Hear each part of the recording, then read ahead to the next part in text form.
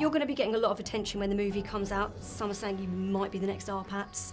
Um, we Okay, think you okay. should take some advice on handling this attention Right. from your character Romeo in a game called What Would Romeo Do? What would Remy do? So we've got let's three go for it. scenarios. Okay, let's go.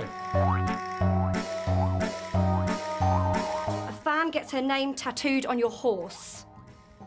My horse. Yes, Romeo's horse, your horse. Poor horse. What did he ask for that? I know. He doesn't want my name tattooed to him. What would Romeo do? What would? What, he wouldn't tattoo it to his horse. I mean, if a fan did it? I would have found it. I think he would. Um, not sure. I'd feel a bit bad for the horse. That can't be very comfortable. Um, I don't know. Uh, it seems a very bizarre thing to do.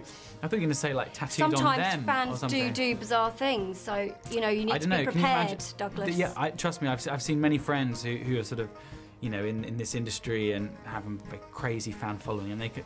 There's all sorts of tattoos that you see. It's weird. Exactly. In weird places too.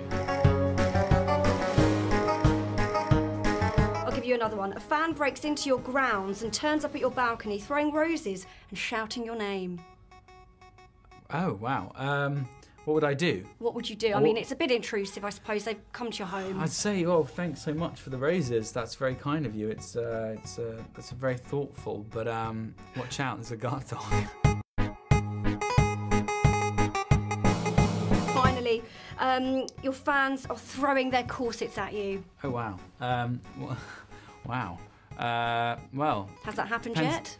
Has that happened yet? Corsets. I don't. Or not- underwear? Underwear. That hasn't happened yet. That's what. That, that Uh-huh. that's one thing that's still left to happen. To look forward to. What would to you look do? forward or to not look forward to. It depends who's throwing it. This is true.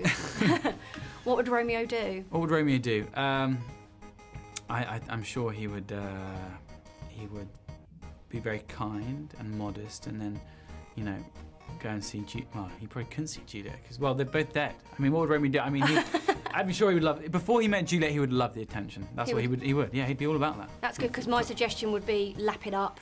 Yeah, You won't be young forever. yeah, that's what he should do. Oh, well, Yeah. Douglas, it's great to meet you, Thank you and so loads of nice luck with the film. Thank you so much. Cheers. Thank- Pleasure. Cheers.